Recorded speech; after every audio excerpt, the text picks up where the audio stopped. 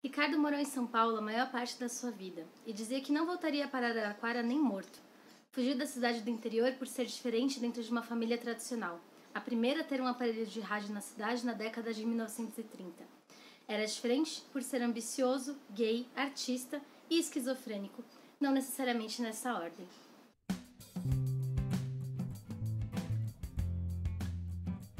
O subtítulo desse livro já nos diz bastante coisa sobre essa história.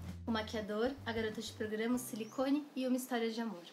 Tudo começa com Ricardo e Wagner se conhecendo na década de 80 num salão de cabeleireiro chamado Shirley's, que fica até hoje no Campo Belo e ainda está funcionando.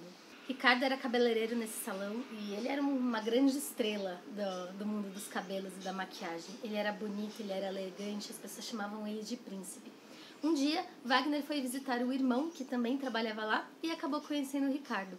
Mais ou menos um ano depois desse primeiro encontro, Ricardo acabou oferecendo a sua casa para o Wagner, que estava sem moradia, ir morar. E depois de um tempo, eles acabaram se apaixonando e vivendo essa história de amor. Os dois já eram bem parecidos, muitas pessoas falavam que eles eram gêmeos, que eles eram irmãos.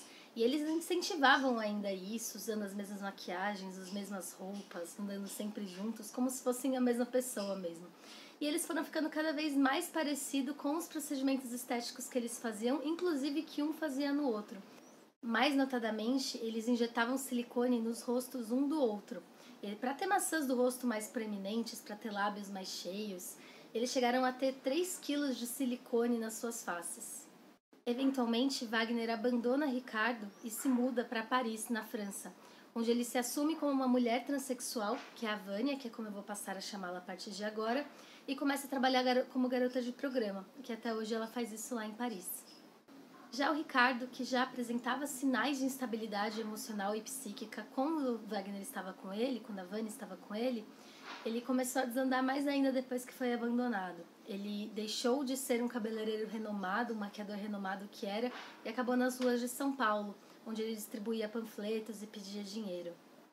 Devido a essas inúmeras aplicações de silicone e modificações faciais, as suas bochechas acabaram ficando flácidas e grandes e acabaram deixando ele com um aspecto que lhe rendeu o seu apelido, que é de Fofão da Augusta, em referência àquele personagem de desenhos infantis, o Fofão, que tem aquelas bochechas bem pronunciadas, e a Rua Augusta, que é onde ele costumava circular no centro da cidade de São Paulo.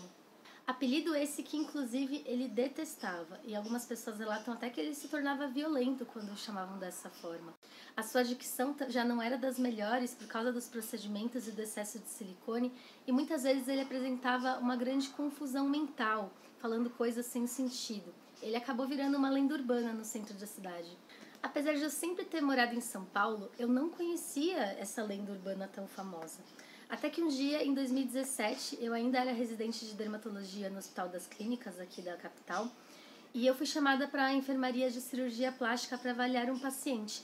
Esse paciente ele tinha sido internado como desconhecido, ele não tinha documentos, ele também não conseguia se expressar e falar seu nome para a equipe de saúde, por isso que acabou ficando registrado como desconhecido. Ele havia apresentado uma infecção no terceiro dedo da mão, né, no dedo do meio, e acabou tendo que ser amputado para esse tratamento. E a equipe da cirurgia plástica tinha chamado a interconsulta da dermatologia para saber o que, que ele tinha no, no rosto, que apresentava aquele inchaço, aquela aparência esquisita. E esse era o rosto do Ricardo, bastante inchado, com aquelas bochechas pendentes, bem desproporcional à magreza em que ele se apresentava. Ele conversou comigo umas coisas sem sentido. No começo ele não queria que eu examinasse, depois ele falou que eu, eu tinha que pagar para examiná-lo, que ele era uma pessoa muito famosa, ele não podia conversar com todo mundo. No fim, a gente acabou pedindo um ultrassom da face dele e a gente acabou descobrindo o que muita gente já sabia na cidade, que esse inchaço, essas alterações eram devidas ao silicone. Foi aí que outro residente me falou que esse era o tal de fofão da Augusta e me contou um pouquinho sobre a sua história que até então eu desconhecia. Eu ainda fui vê-lo uma ou duas vezes depois desse atendimento para documentar o caso dele, e nessas duas ocasiões ele apresentava-se bem sedado na cama, sem conversar, sem nenhum contato com as outras pessoas. A equipe de enfermagem me informou que ele apresentava bastante violência e agitação e por isso que eles tiveram que sedá-lo. Eu me despedi dele sem nem saber ainda que o seu nome era Ricardo. E é nesse ponto que o jornalista Chico Felice, autor do livro, entra nessa história. Esse livro começa com a sua chegada no Hospital das Clínicas, com o reconhecimento do Ricardo como fofão da Augusta e com a busca do Chico pelo centro da cidade, pelos salões de beleza e cabeleireiros, por Araraquara, que é a cidade natal do Ricardo, e até mesmo em Paris, pela Vânia, para descobrir mais sobre a história desse homem que era o desconhecido no hospital. Eventualmente, e com grande ajuda da equipe de assistência social do hospital, eles conseguem com que Ricardo receba o seu nome de novo na internação e não seja mais só o desconhecido com D maiúsculo. E é assim que esse livro toma corpo, e o Chico vai dividir com seus leitores todo esse processo de construção dessa obra.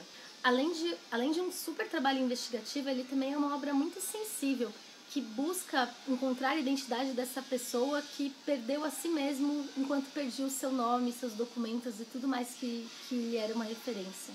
E a gente também vai ver um pouquinho sobre a vida noturna de São Paulo, seus bailes, suas boates, os locais de beleza, salões de cabeleireiro da década de 80 e também um pouquinho sobre a epidemia de AIDS, que veio para estigmatizar mais ainda um grupo já muito desqualificado da sociedade.